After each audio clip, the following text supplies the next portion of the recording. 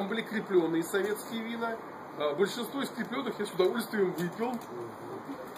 Ну, поделившись, конечно, честно в какой-то пропорции. Вот. А, но, но, но, но, но тонкий момент. Когда я туда влез, я обнаружил там запасы испанского вина, потому что в 90-х годах тесть очень много мотался в Испанию по делам.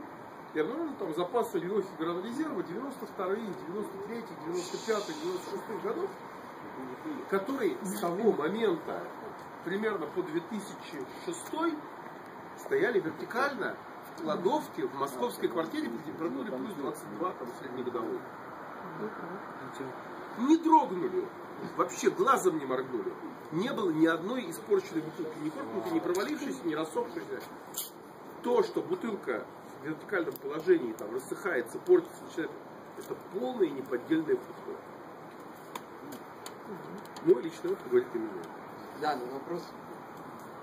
Твои знания вина тогда были достаточны для того, чтобы понять, что... Проблема, что есть проблема. Нет, Нету а с, с- проблемы. с- с окислением, да, с окислением я уже был знаком, я как окисление.